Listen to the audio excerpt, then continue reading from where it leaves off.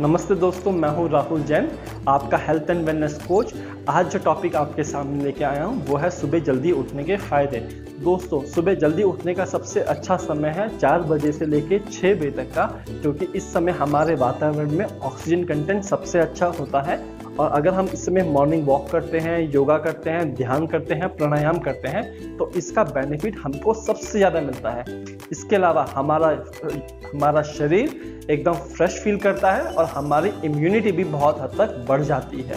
Secondly इसका सबसे बड़ा फ़ायदा ये और भी है इससे हमारा डाइजेशन सिस्टम बहुत इम्प्रूव होता है, हमको कॉन्स्टिपेशन नहीं रहता। और दोस्तों, हम सब जानते ही हैं कि अगर कॉन्स्टिपेशन होगा या हमारा डाइजेशन सिस्टम अच्छा नहीं होगा तो हमको सभी रोग होने की संभावना बढ़ जाती है। तो हमारा डाइजेशन सिस्टम भी इससे इम्प्रूव होता है। तो ये था दोस्तों, आज का हमारा हेल्थ टिप नंबर वन